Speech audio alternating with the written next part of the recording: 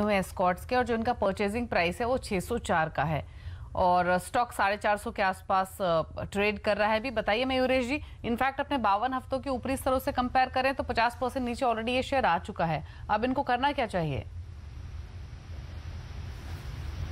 नहीं, कहीं ना कहीं आई थिंक रिजल्ट्स भी एक एक बहुत प्राइम फैक्टर है। दूसरा आई थिंक अगर हम देखें ट्रैक्टर इंडस्ट्री के लिए दो साल की आई थिंक बहुत ट्रिमेंडस ग्रोथ आई थी।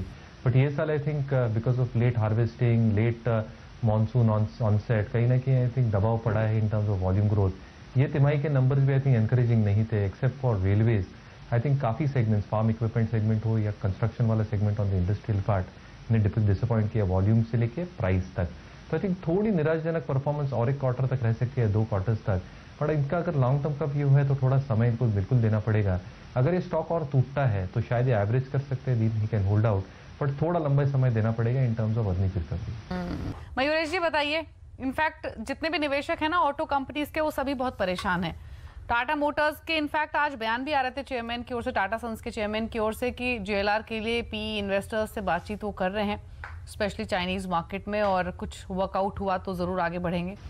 आ, अब ये बताइए टाटा जुड़ा हुआ है नाम इसलिए होल्ड रखें नीचे खरीदते रहें या फिर कोई और रणनीति होनी चाहिए?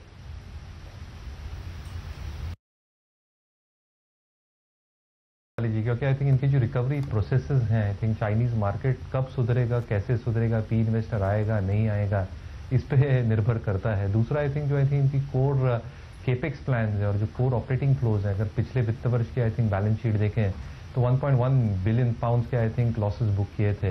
And again the capex that is required नई इलेक्ट्रिक व्हीकल के लिए, हालाँकि इनके दो नए लॉन्चेस आई थिंक काफ़ी सक्सेसफुल रहे हैं। But again I think the market it I think जो डीजल ट्रांसमिशन नॉर्म्स हैं इमिशन नॉर्म्स है यूरोपियन मार्केट्स को यूके ब्रेक्सिट का क्या होगा नॉर्थ अमेरिकन मार्केट बहुत सारी चीज़ें हैं। तो मुझे लगता है I think is going to take a long long while for the investor to probably recover is price I think जो मोमेंटम वाले स्टॉक्स हैं insurance companies private banks corporate side पे जैसे आईसीआईसीआई बैंक ने बेहतरीन नतीजे दिए थे। या पाइपिंग कंपनी जो वाटर पाइप कंपनीज़ हैं आई थिंक ये अच्छे विलय हो सकते हैं अगर आपका एक से दो साल का हो। ठीक है। रिश्मा शर्मा ने ये सवाल भेजा है और बंधन बैंक पर इनका सवाल है और आरबीएल बैंक पर। बंधन बैंक इन्होंने 50 शेयर्स खरीदे हुए चार सौ पचासी के भाव पर और आरबीएल बैंक में इन्होंने 50 शेयर्स अगेन लिए हैं 390 की इनकी होल्डिंग है। दोनों इनकी हाल फ़िलहाल की खरीद लग रही है, भाव को देखकर तो लग रहा है। मयूरेश, अब करना क्या है इनको? नीचे के भाव की बाइंग तो है बट स्टॉक्स लगातार गिर रहे हैं स्पेशली आरबीएल बैंक।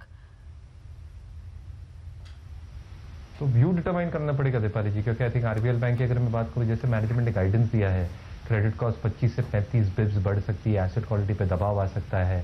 आज जैसे उभर बाहर आए कि एक सौ चौहत्तर करोड़ के आई थिंक सीसीडी की डेट की तरफ़ एक्सपोजर है in terms of outstanding liabilities और थोड़े स्लिपेजेस बढ़ सकते हैं। तो आई थिंक ये सारे कारणों की वजह से आरबीएल बैंक अच्छा खासा टूटा हुआ है।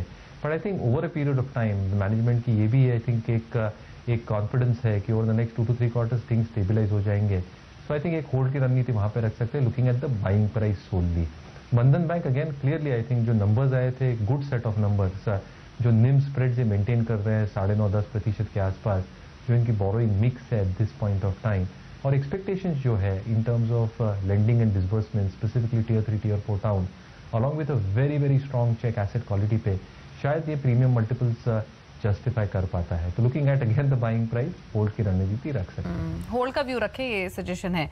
एक सवाल कुमावत का अहमदाबाद से लेमन ट्री होटल ये स्टॉक है इनके पास 200 शेयर्स हैं और जो परचेजिंग प्राइस है वो छिहत्तर का है। स्टॉक अट्ठावन पर आ चुका है। बताइए क्या करना चाहिए मयूरेश लेमन ट्री होटल पर? अगर ये और और गिरता है तो मेरे हिसाब से I think you can average and add on clear disclaimer ये स्टॉक मेरे फंड में है। जो आई थिंक रणनीति है मैनेजमेंट की आई थिंक जो नए इनके प्रॉपर्टीज़ खुल के आ रही हैं, वहाँ पे आई थिंक एक एक जो इंक्रीमेंटल कैश फ्लो आएगा over the next few quarter should be good utilisation levels काफ़ी अच्छा है, अगर ईवी टू की की हम बात करें I think that has shown signs of improvement और जैसे केपेक्स कर रहे हैं कंस्टेंट वे में नॉट लेवरेजिंग और over leveraging their balance sheet और जैसे इनकी properties I think on stream आते जाएँगे, थोड़ा जेस्टेशन पीरियड बिल्कुल देना पड़ता है but again I think utilisation levels improving overall demand supply dynamics in favour of hotel players specifically organise players के साथ। और इनके तीन वैरायटी के होटल है प्रीमियम सेमी प्रीमियम और economy I think it caters to all the audiences in the economy at large तो I think मैं काफ़ी पॉजिटिव हूँ स्टॉक पे। डिक्लाइन अगर ये और ज़्यादा होता है तो बिल्कुल एवरेज किया जा सकता है। होल्ड करने की सलाह है नीचे मिले तो और खरीद भी सकते हैं। बायोकॉन तीन सौ रुपए की बाइंग है स्टॉक बावन हफ्तों के लगातार लोज बना रहा है। बताइए मयूरेश बायोकॉन में क्या करें? थोड़ा और ऐड कर ले इन लेवल्स पर या फिर जो होल्डिंग है उसी को रखें? अब अब तक तो होल्ड कर सकते हैं बट अगर ये और टूटता है तो बिल्कुल ऐड किया जा सकता है। आई थिंक इनका जो कोर पोर्टफोलियो है बायो सिमिलर्स का आई थिंक जो ब्लॉकबस्टर ड्रग्स इनके पास है ट्रांसटोसोमा पेगफिल्ट्रास्टिन एडालुमुबाब आई थिंक ये सारे ड्रग्स के आई थिंक जो पोटेंशियल वैल्यू और जो इन्फ्लेक्शन पॉइंट अर्निंग्स में आ सकता है एफ़ ट्वेंटी के बाद आई थिंक सिग्निफिकेंट आ सकता है। इसलिए आई थिंक ये अर्निंग्स रिकवरी जो है, ये चार क्वार्टर बाद बैलेंस शीट पे दिखेगी।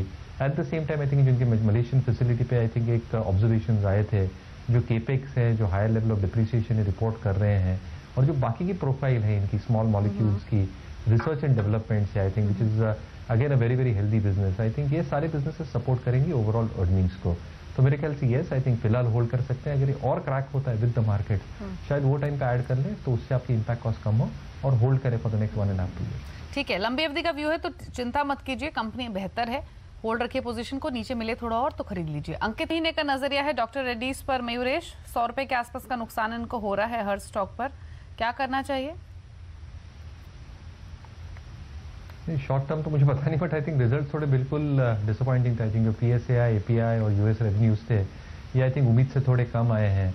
Indian business probably held up at the same time I think जो आर एन डी एक्सपेंडिचर है, और जो इनके दो बड़े ब्लॉकबस्टर ड्रग्स है निवालिंग और Copaxone that has probably got delayed to F Y twenty one so I think जो एक्सपेक्टेशन थी मार्केट को कि अगले दो से तीन तिमाही में ये ड्रग्स आएँगे और ये कॉन्ट्रीब्यूट करेंगे from an exclusivity point of view ये शायद डिले होता है और इसकी वजह से आई थिंक जो एक ईपीएस की अनुमान है, वो शायद डिले होता है. बिकॉज़ ये as a short term view मेरे ख्याल से आई थिंक अगर कोई भी उछाल मिल जाता है over the next few weeks I think you should probably take it as an exit opportunity ठीक है। 327 पर लिए हैं कुछ स्टॉक्स कुछ 341 पे लिए हैं तो एवरेज बाइंग 333 34 के आसपास इनका आ गया। और एम एन एम पाँच सौ बावन पर है। क्या कर, क्या सजेशन होगा? अगर लंबा व्यू है जो अगर होगा तो मेरे हिसाब से होल्ड करना चाहिए क्योंकि आई थिंक जो बी एस सिक्स के चेंजेस हैं M N M probably gets affected the most क्योंकि डीजल वेरिएंट्स इनके सबसे ज़्यादा है। तो जो प्राइस इंक्रीजेज और कॉस्ट हो सकती है आई थिंक वो मैक्सिमम हो सकती है for M N M N its variants again I think जो पेट्रोल वेरियंट्स की तरफ़ ये शिफ्ट हो रहे हैं और जो आई थिंक एक लॉजिकल मूव है I think that should pay dividends in the long run second I think इनका जो फार्म इक्विपमेंट का बिज़नेस है अगेन आई थिंक जैसे स्कॉट केस में था आई थिंक वहाँ पे स्लो डाउन बिल्कुल विटनेस किया जा रहा है। और होप है कि आई थिंक अगले वर्ष या Rabi season if it turn out to be successful वहाँ पे थोड़ी रिकवरी आ सकती है। And there is a value of investment of it subsidiaries is well जो आई थिंक सिग्निफिकेंटली कॉन्ट्रीब्यूट करती है। तो होल्ड की रणनीति होनी चाहिए एम एस बी आई के लिए। They have reset their M C R rate तो कहीं ना कहीं आई थिंक मार्केट को डर है कि आई थिंक निम स्प्रेड्स पे क्या प्रभाव पड़ेगा। But again I think our own expectation are that it's a very very strong franchise जो इनकी वॉच लिस्ट है, अच्छी खासी रिकग्निशन हो गई है। प्रोविजनिंग अच्छा हो गया NCLT one NCLT two cases को लेके।